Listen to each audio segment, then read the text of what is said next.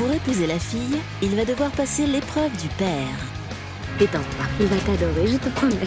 Avez-vous déjà regardé des vidéos pornographiques chez vous C'est une blague, pardon. Ne sois pas trop dur avec lui, d'accord? Celui-là, j'y tiens. Avez-vous déjà fumé un pétard? Non. Si jamais il apparaît que vous avez essayé de corrompre Pamela, je vous briserai les reins. Papa a l'air de bien l'aimer, t'as remarqué? Robert De Niro, Ben Stiller, Mon beau-père et moi, jeudi à 21h sur C8.